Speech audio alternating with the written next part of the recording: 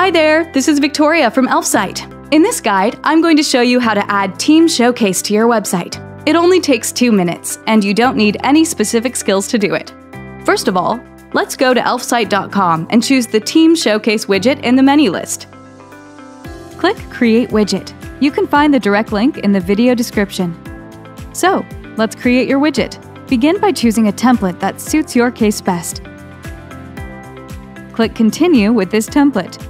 To showcase your team, go to the Content tab. What you need to do is to replace the default team members with your own ones.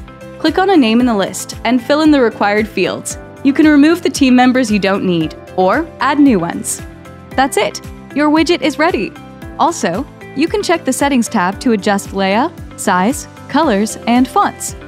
Click Join to install to add the widget to your website. Log in or sign up to Elfsight Apps. This is free, no credit card required. After you sign up, you'll see the widget that you have just created. Click Save. The next step is to choose your subscription plan. You're very welcome to start with Lite, but keep in mind that your 20% discount is valid only for 24 hours. Click on the code to copy it and go to your website's admin panel. After you've logged in, choose a website for the widget. Click Add Elements.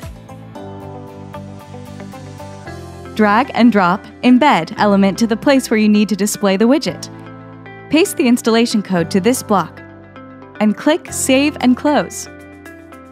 To visually separate the widget from the rest of the content, we recommend to add 20 pixel margins. After you're done, publish the changes. Go to the page to check your widget. This is how easy it is. But if anything goes wrong at any stage, message us at support at elfsight.com. Also, we've got tons of cool and exciting widgets, and you're very welcome to try them out for free. Just click the link in the description.